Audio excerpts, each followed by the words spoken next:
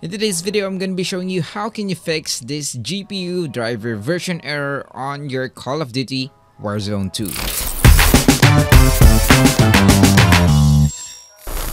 This video is sponsored by CDKeyoffers.com where you could buy legit software, games, and license keys. Just go ahead and search for the games or software you're looking for, hit the buy now button, and simply enter the coupon code DOOD20 to save up up to 20% from your purchase. After paying, you will now immediately receive the key on your account and be able to activate your software or license key.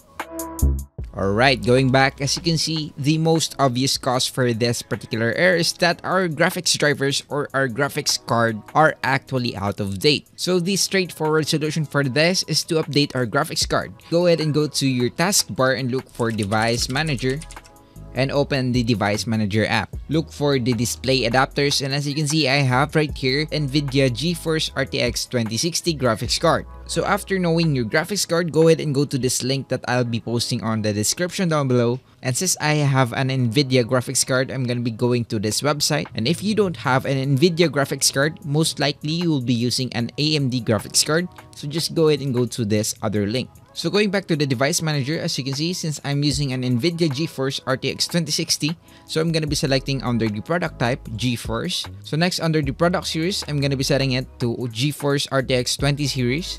And under the product, it's the GeForce RTX 2060.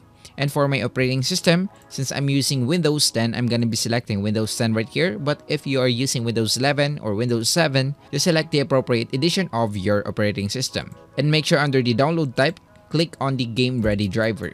Hit the search button and it will take you to this download page and just simply hit the download button. Once the download is complete, you should now be able to open the driver installation and just simply hit the OK button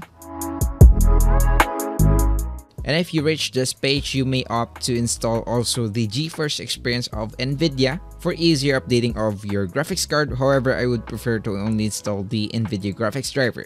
So go ahead and click on the agree and continue and it should begin and start the installation of your graphics card. Once your graphics card has been updated, just simply go ahead and close the installer and then go ahead and restart your Call of Duty Warzone